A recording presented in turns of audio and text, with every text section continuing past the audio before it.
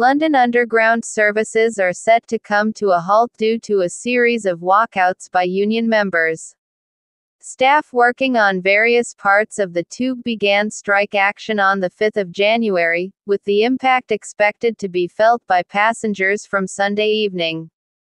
Transport for London TfL has advised people to complete their journeys by 17:30 Greenwich Mean Time, with little or no service anticipated on the tube until Friday. UK Hospitality has warned the strike is expected to cost the sector up to £50 million. Members of the Rail, Maritime and Transport Union RMT voted to take industrial action over a below inflation pay increase of 5% a rise transport bosses have described as the most we can afford. As a result of the action, little or no service is expected to run on the underground between Sunday evening and Friday morning, according to TfL. While passengers have been advised to complete any journeys before 1730, the transport body said it would try to keep lines serving the Emirates Stadium, where Arsenal host Liverpool in the FA Cup, open for longer. Severe disruption is then expected for most of the week, with very few services running. The tube will finally return to a normal service by midday on Friday. With fewer commuters expected to travel into the city during the strike, Kate Nicholls, chief executive of trade body UK Hospitality, said thousands of hospitality businesses would be affected, with an estimated total impact to the sector of up to 50 million pounds.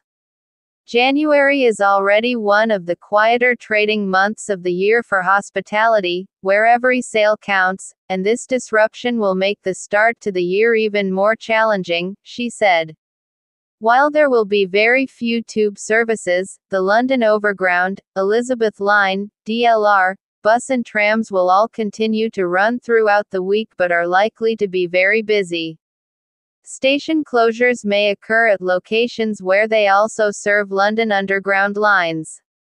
Elizabeth Line trains will also not call at Bond Street, Tottenham Court Road, Farringdon, Liverpool Street, Low Level, and Whitechapel before 6.30 and after 22.30 on Monday and Wednesday, and before 7.30 on Tuesday and Thursday.